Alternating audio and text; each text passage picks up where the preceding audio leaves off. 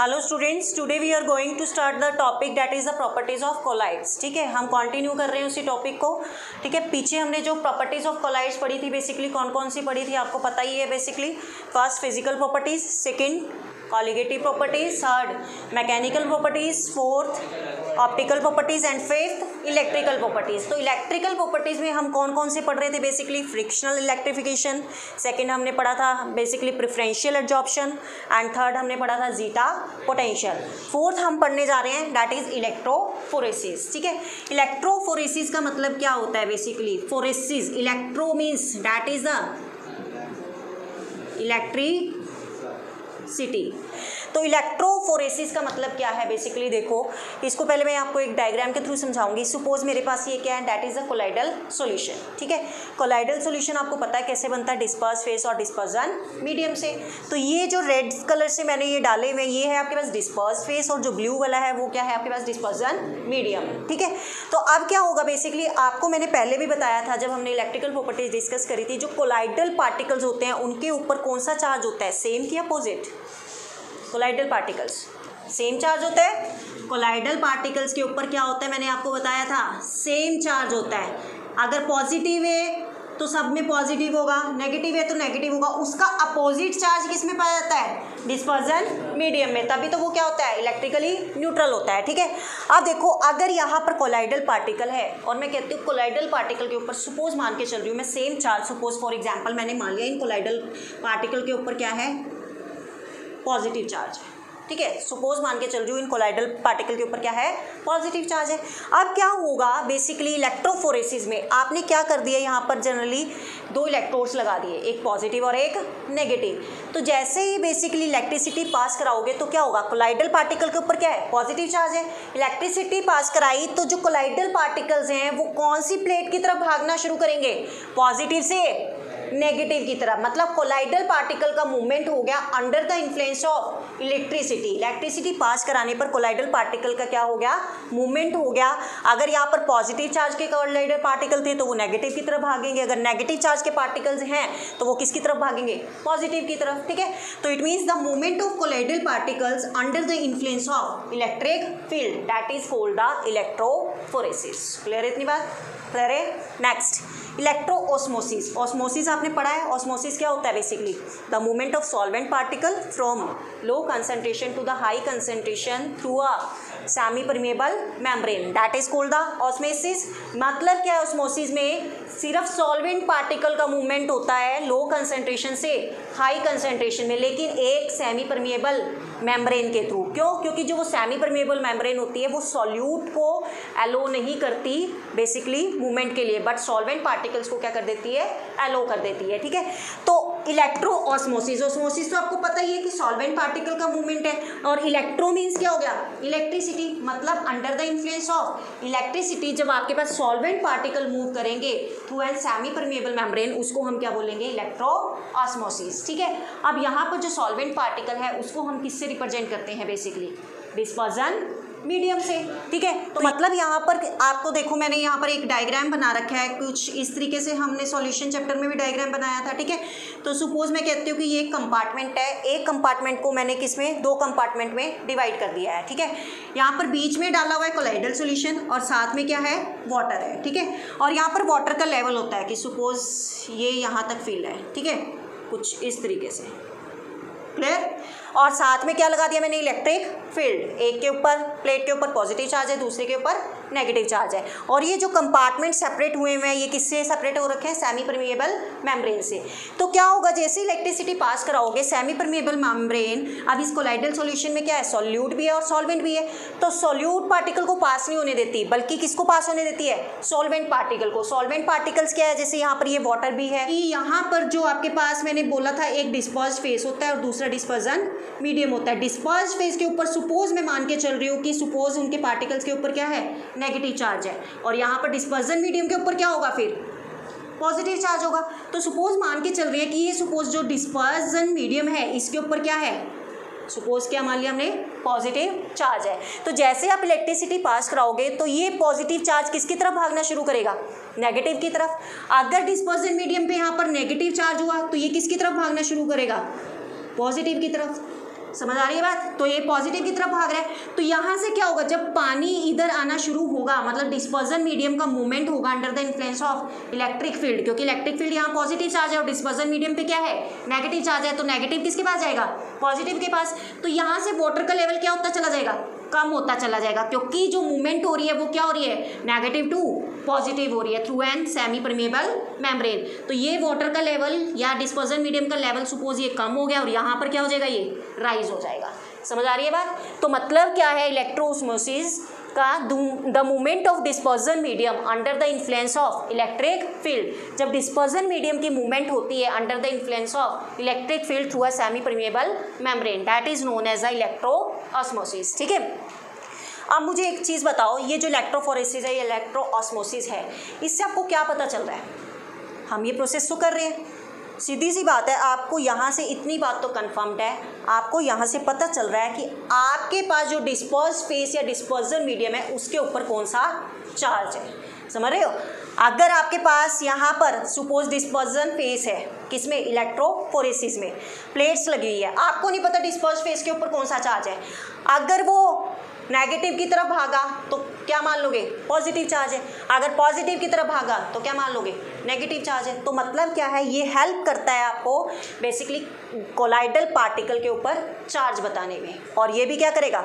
ये भी colloidal particle के ऊपर भी बता सकता है और बेसिकली डिस्पर्जन मीडियम के ऊपर भी बता सकता है। क्यों? अगर इसने जैसे डिस्पर्जन मीडियम का आपको पता चल गया, यहाँ पर सपोज़ ये पॉजिटिव की तरफ़ भाग रहा है तो डिस्पर्जन मीडियम के ऊपर कौन सा चार्ज है? नेगेटिव तो कोलाइडल पार्टिकल के ऊपर क्या होगा? पॉजिटिव क्योंकि उसके अपोजिट चार्ज किसके ऊपर होता है? कोलाइडल पार्टिकल्स के ऊपर होता है। समझ आ रही है बात? क्लियर है? कर लोगे इलेक्ट्रोस्मोसिस क्लियर है? चलो नेक्स्ट कोएगुलेशन या फिर प्रेसिपिटेशन या फिर फ्लक्चुलेशन एक ही बात है। सिनोनियम्स पढ़ते हो ना जैसे? इंग्लिश में पढ़ते हो। सरप्राइज़ का सिनोनियम क्या है? एस्टोनिश्ड पढ़ते हो ना? हाँ? सिनोनियम्स मतलब सेम मीनिंग सेम अर्थ जिनका होता है ना सेम मीनिंग तो कोआगुलेशन प्रेसिपिटेशन या फ्लॉकुलेशन तो ये तीनों के तीन क्या है? जनरली सिमिलर है, ठीक है? एक ही बात है. तो कोएगुलेशन का मतलब क्या होता है बेटा? वैसे भी कोएगुलेशन का मतलब है इकट्ठा होना, ठीक है? एग्रीगेशन सपोज़ मैं बोल रही हूँ कि ये मेरे पास क्या है? आपके पास कोलाइडल सोल्यूशन है. कोलाइडल सोल्यूशन में ये क्या है? डिस्पर्स फेस है. कौन सा? दिस वन डिस्पर्स्ड फेस और ये जो ब्लू वाला है that is a dispersion medium, ठीक है? तो कोलाइडल पार्टिकल्स ये पड़े हुए हैं किसके अंदर? डिस्पर्जन मीडियम के ऊपर। अब कोएगुलेशन का मतलब क्या होगा? आपको पता है कि अगर डिस्पर्स्ड फेस के पार्टिकल्स के ऊपर सेम चार्ज होता है सपोज़ मैंने मान लिया यहाँ पर पॉजिटिव चार्ज है तो अगर ये यहाँ पर पॉजिटिव है तो यहाँ पर भी क्या होगा? पॉजिटिव होगा। यहाँ पर भी क्या होगा? इस पार्टिकल के ऊपर पॉजिटिव होगा। तो पॉजिटिव पॉजिटिव चार्ज तो क्या करते हैं आपस में? रिपेल करते हैं। तो ये पार्टिकल्स इकट्ठे कैसे होंगे? प्रॉब्लम आ रही है ना? कोएगुलेशन का मतलब ही क्या होता है? इकट्ठा होना। तो ये पार्टिकल्स इकट्ठे कैसे होंगे कि आप इसके अंदर कुछ अमाउंट क्या कर दो? इलेक्ट्रोलाइट का ऐड कर दो। तो जैसे ही आप इलेक्ट्रोलाइट ऐड करोगे तो ये इलेक्ट्रोलाइट कौन सा ऐड करोगे? अगर डिस्पर्स फेस के ऊपर पॉजिटिव चार्ज है तो आपने जो इलेक्ट्रोलाइट लेना है, वो इसका अपोजिट लोगे। मतलब सपोज़ मैंने क्या ले लिया? नेगेटिव जैसे सपोज़ मैं कहती हूँ एन है। That is also an electrolyte इसके ऊपर पॉजिटिव चार्ज होता है इसके ऊपर? तो यहाँ से कौन सा लोगे? नेगेटिव वाला। That is C L negative तो ये क्या करेगा? पॉजिटिव नेगेटिव को क्या करेगा? अट्रैक्ट करेगा। और ये जो पार्टिकल्स हैं, ये क्या हो जाएँगे? आपके पास इकट्ठे हो जाएँगे। समझ आ रही है बात? जैसे फॉर एग्ज़ाम्पल मैं बहुत अच्छा एग्ज़ाम्पल देती हूँ कोएगुलेशन का डेली रूटीन में जो हम यूज़ करते हैं।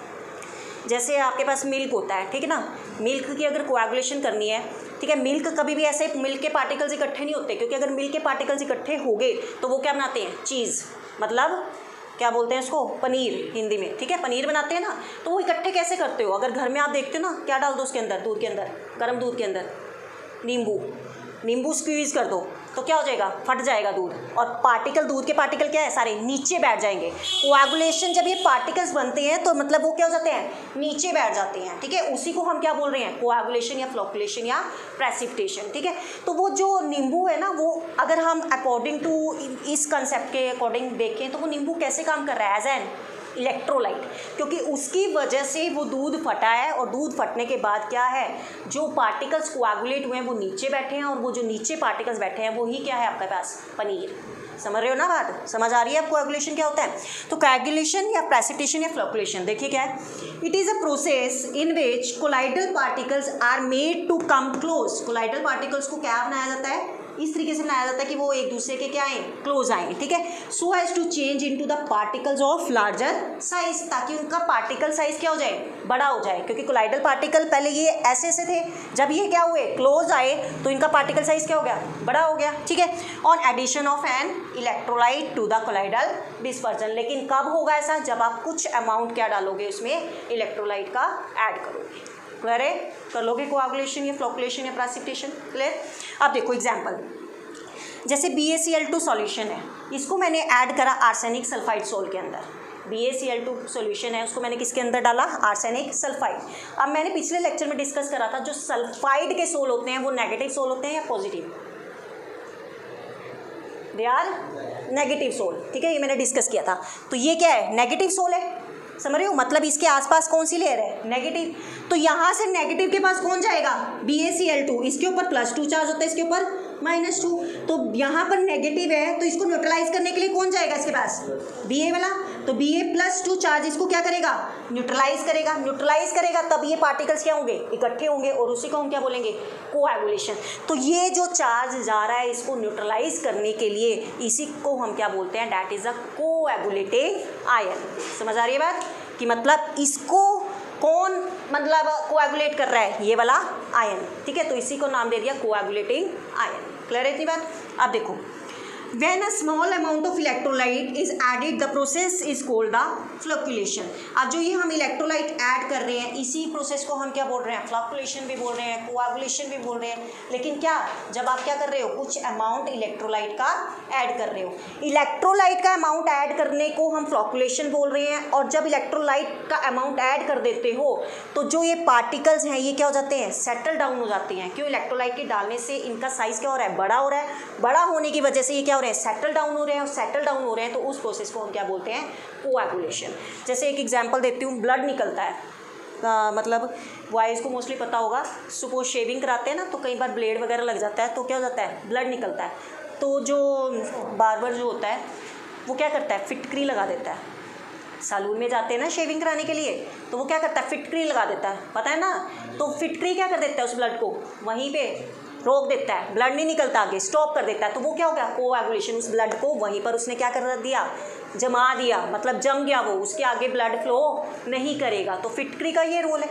तो बेसिकली क्या है? फिटकरी क्या हो गया एज एन इलेक्ट्रोलाइट समझ रहे हो बात? तो यही प्रोसेस क्या है आपके पास? कोएगुलेशन ठीक है? नेक्स्ट कोएगुलेशन वैल्यू या फ्लॉकुलेशन वैल्यू या फिर प्रेसिपिटेशन वैल्यू इसको ध्यान से समझना बेटा, ये क्या होता है? देखो। The minimum amount of electrolyte that is in millimoles that must be added to one litre of colloidal solution to bring about a complete coagulation देखो सपोज़ मैं यहाँ पे कर रही हूँ सपोज़ मेरे पास क्या है, एक टेस्ट ट्यूब है, ठीक है?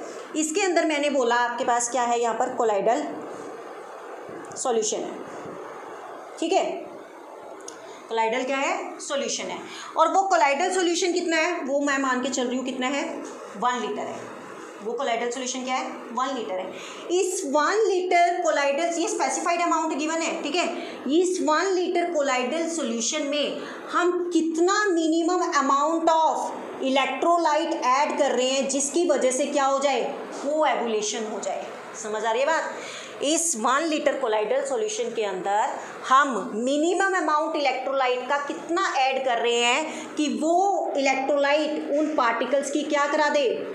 कोएगुलेशन करा दे, उसी को हम क्या बोल रहे हैं? That is a coagulation value समझ आ रही है बात? जो वैल्यू आएगी इलेक्ट्रोलाइट की, उसी को हम क्या बोलेंगे? कोएगुलेशन वैल्यू सपोज़ मैं कहती हूँ कि हमने अमाउंट डाला zero point zero zero five इतने मिलीमोल डाल दिया। ठीक है? इतने मिलीमोल मैंने वन लीटर कोलाइडल सॉल्यूशन में डाले ताकि ये जो पार्टिकल्स हैं, ये क्या हो जाए? कोएगुलेट हो जाए। तो ये वाली वैल्यू क्या कहलाएगी? That is a coagulation value समझ आ रही बात? तो ये स्टैंडर्ड है वन लीटर ठीक है स्टैंडर्ड मान के चलना है आपको। क्लियर है इतनी बात? कोएगुलेशन वैल्यू क्या होती है? कर लोगे? ठीक है तो यहाँ पर बेटा हमारी इलेक्ट्रिकल प्रॉपर्टीज़ बेसिकली खत्म होती हैं। ठीक है नेक्स्ट टॉपिक हम नेक्स्ट लेक्चर में डिस्कस करेंगे। कोई प्रॉब्लम होती है then you can do comment and ask okay thank you